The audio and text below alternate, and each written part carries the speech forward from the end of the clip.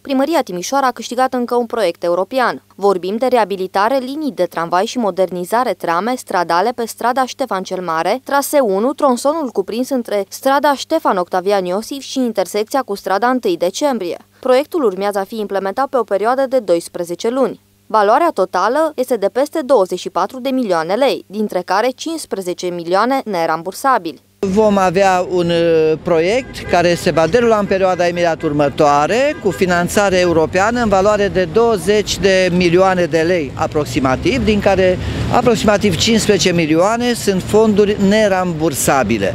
În cadrul proiectului se vor uh, reabilita linii de tramvai, se vor moderniza și uh, de asemenea se vor reface și moderniza tramele stradale. Cu această ocazie vor fi trecute în sfârșit și uh, rețelele pe care le avem noi pe sub carosabil în tot orașul vor fi trecute uh, pe trotuar, mai precis sub spațiu verde dintre trotuar și carosabil.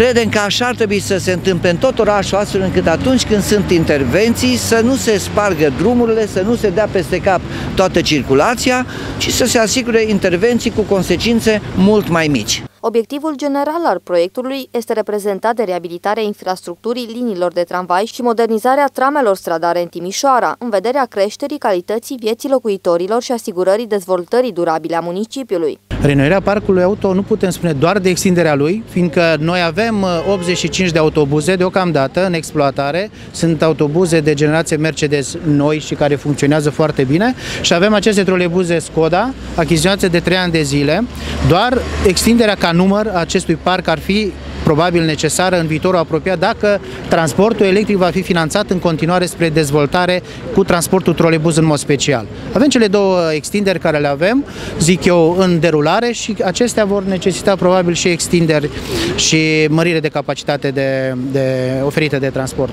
Proiectul propune o intervenție complexă care va avea ca rezultat reabilitarea liniei de tramvai prin înlocuirea integrală a infrastructurii și suprastructurii acesteia, reconfigurarea străzii prin amenajarea carosabilului, patru benzi de circulație câte două pe sens, a trotuarelor, a pistelor de biciclete și a spațiilor verzi, precum și reglementarea rețelelor stradale, alimentare cu apă, canalizare, rețele termice și ilumina public.